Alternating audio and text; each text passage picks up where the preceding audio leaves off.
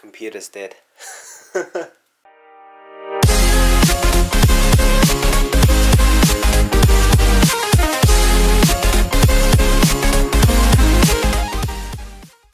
wow. Hi all, it's me, Jack. Currently 2.15 a.m. I just got a notification that my computer parts are coming tomorrow. Uh, I'm gonna work from home tomorrow, start early and finish early and gonna start building this. See you all then. My courier has arrived. Yep, coming!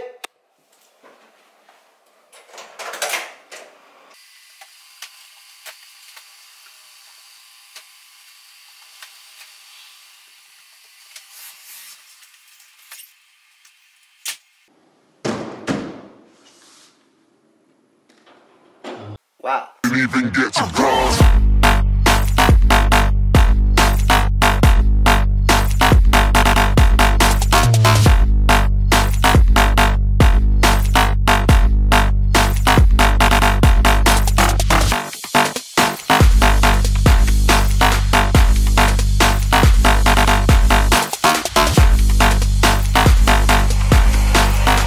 I said I'm moving too far.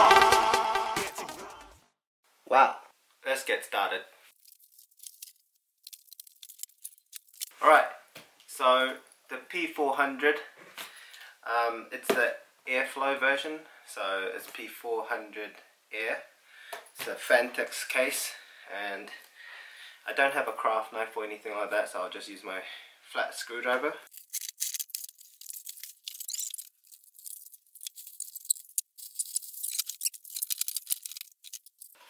So,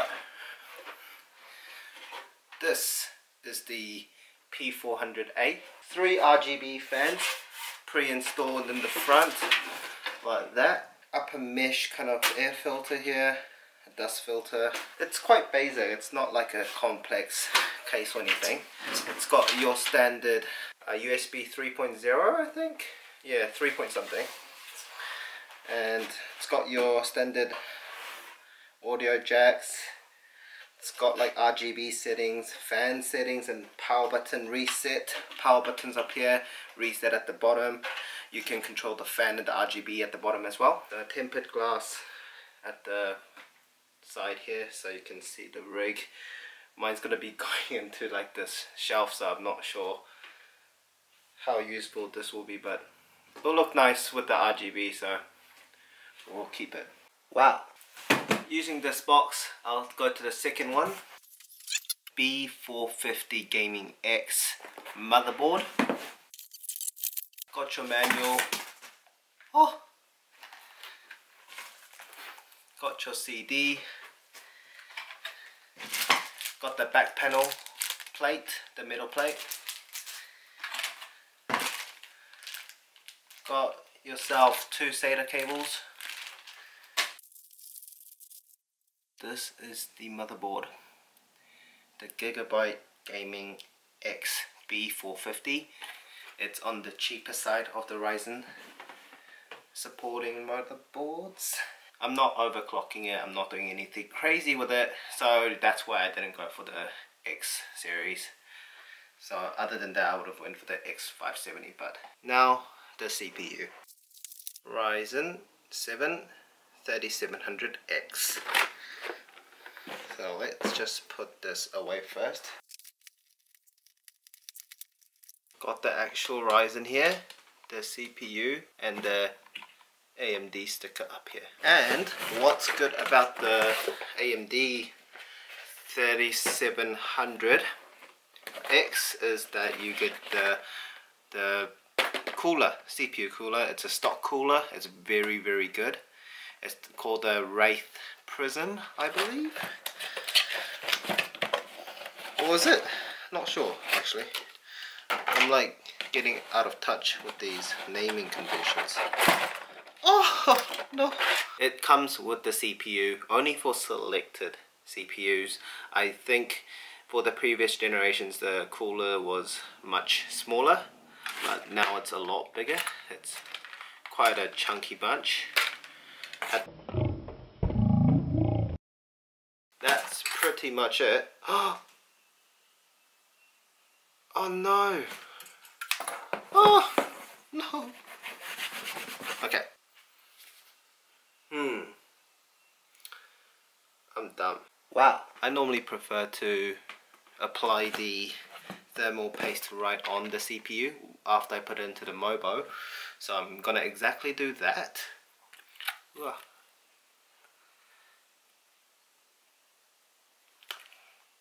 I'm shaking. Always remember to flip the CPU like that because when you come out you don't want to go towards the pin side. If any of these pins bend, oh, oh, if any of these pins bend, you're screwed. Like, not screwed screwed, but it's not good, right? So, I nearly dropped it. Whew. Let's just chuck it on top of there right now. Bring this back. So, how do you chuck your CPU onto your motherboard? Well, got this here. Right here, you'll see a triangle. Not sure if you can see that. So you see that triangle here? You match it to the triangle on the CPU. You can't see it, but it's like right in this corner here. So, before you do that, you need to open this. Okay, you open that. This is like a lock. You chuck in your CPU, give it a little wiggle, it should be in place. That's it. That's your CPU in. Now for the thermal paste. So I've kind of added my layer of thermal paste. Now I gotta chuck this on to here. So let me just set it up. The angle not might be great, but I don't have any better solution. The CPU fan pin is right there, so I'm gonna install it this way so I can plug it straight in like that instead of the other way around. So now let's do this.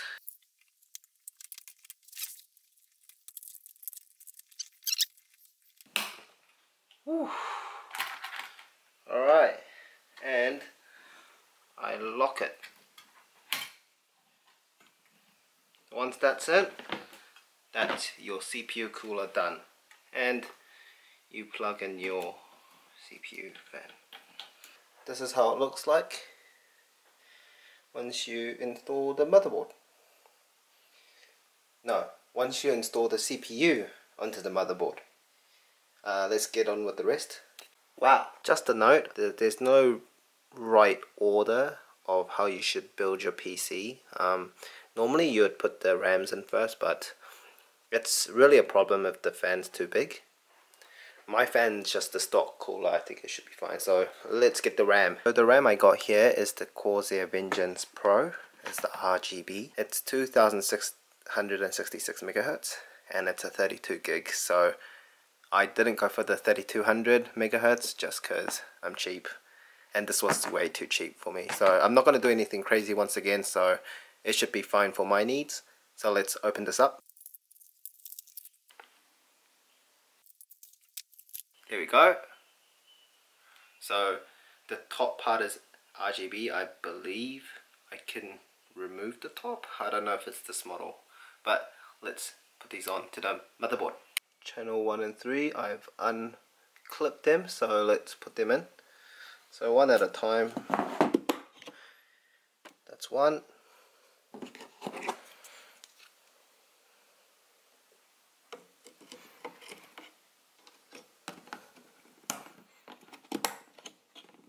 that's two SATA M.2 port SSD um, I believe it goes like here. Let's open it up.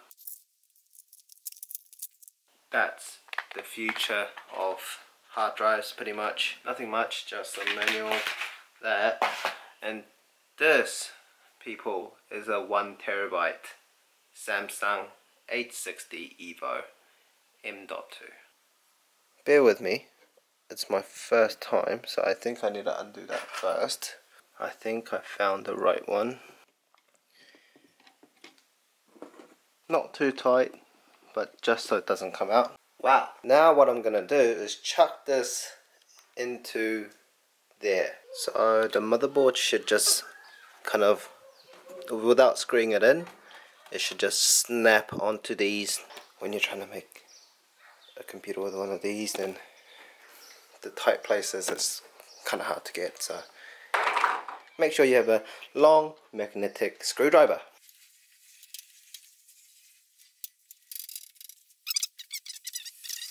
So that's the USB 3.0 done and that's the front panel audio ports done. Let me put the PSU first and we'll go from there and I'll just connect it to the motherboard and the CPU and all that good stuff. Cool.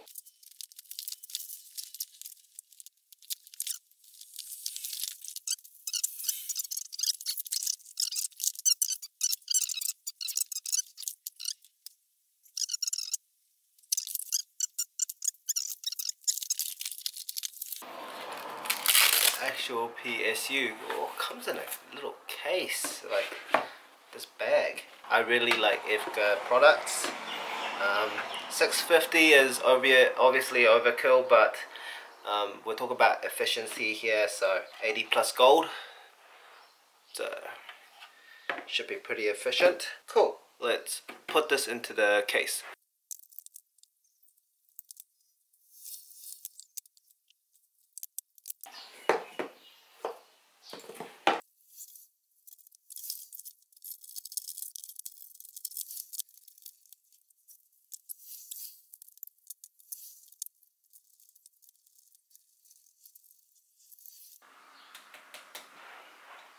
Wow.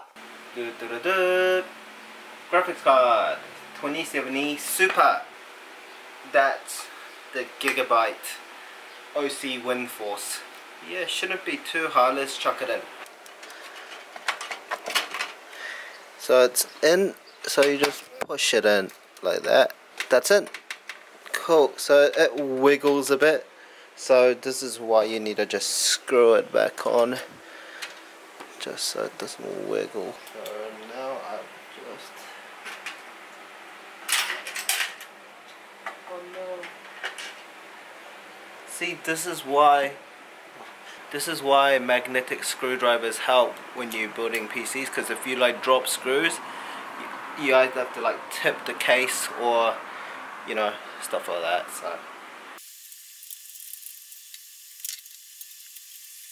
Make sure it's tight because if it's not then it will wiggle and it might break the port.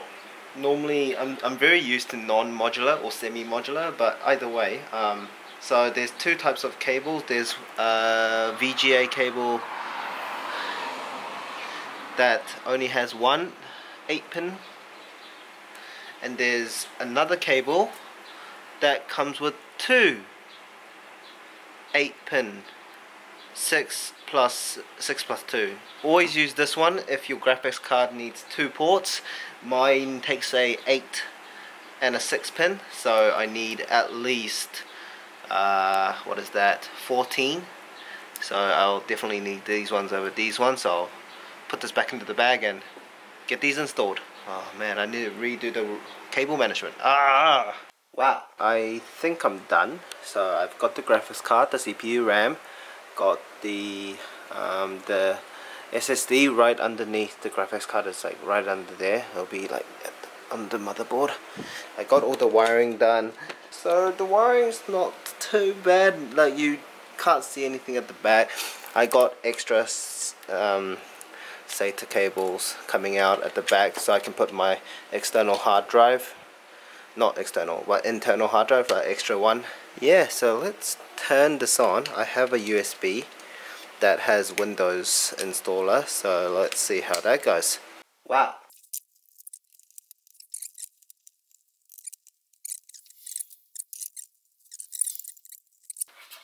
there you go the screen these this is really frictionless like it's really smooth. The mouse looks kind of eh, like it looks alright. It, it, it's very light. It's like I don't. I don't even know. It's like this is very very light. It's good for summer at least actually because my hands get pretty um, sweaty in summer when I'm on the computer for uh, so long. You know, Corsair MK70.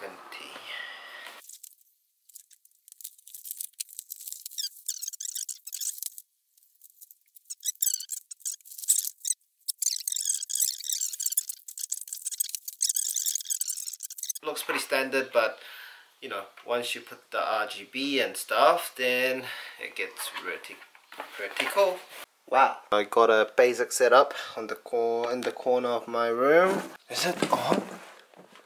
Oh. Whoops. Oh. Oh. So that's the RAM RGB so move out of the way box. Oh oh oh. Oh, yes. Yes. Is it on? Turn my monitor on. Delete. BIOS settings. BIOS settings.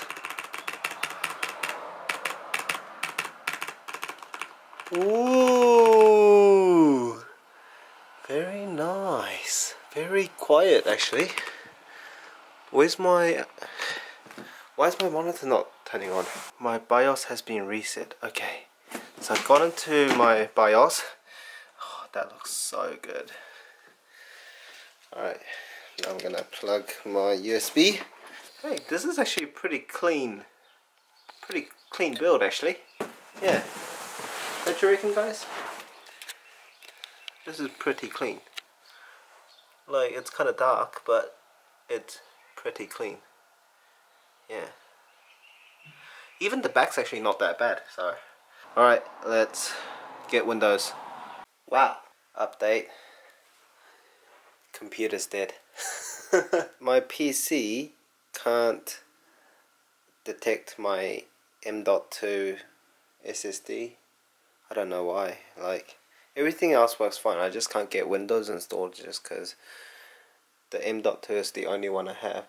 Maybe I should try get a SSD in and see if that works and then I'll see how that goes hey it's done but uh, it doesn't recognize my M.2 SSD so I'm probably gonna test out something and if it still doesn't work I'll probably just take it out and take it to PB Tech tomorrow and get it changed out or something anyways bye for now but let me get some nice footage in the night time, you know, when it's all dark and it's got RGB everywhere, so stay tuned. Wow. Hello. So just an update. Um, it's the next day. I think actually two days later, I've replaced my M.2 SSD. Now this, the old one I had, was probably like a bad batch or something like that. So it was just dead. So the motherboard I thought the motherboard was the problem but yeah got a new storage. It was, works great. I checked it at the PB Tech. All good to go. I'll mount the CPU put it back into the case and get Windows on it on this new storage. Let's go.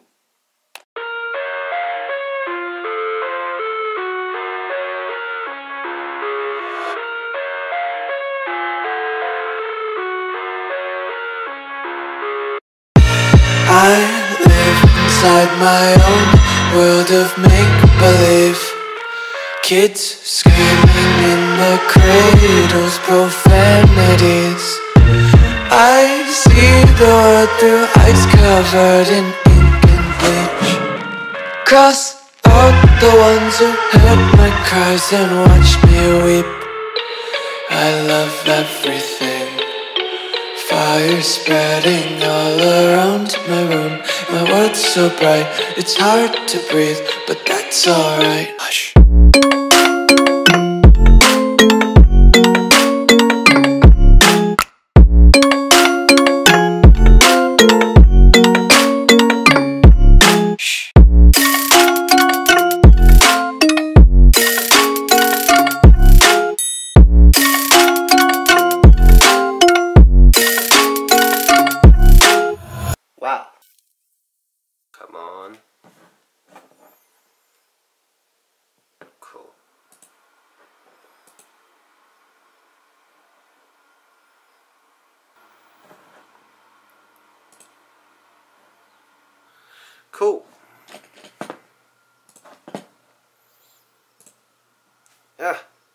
nice.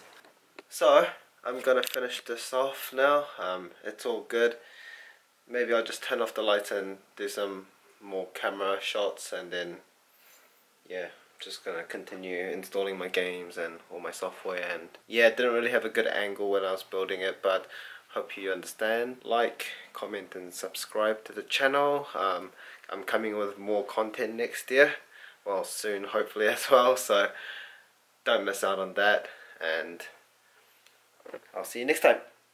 Yeah.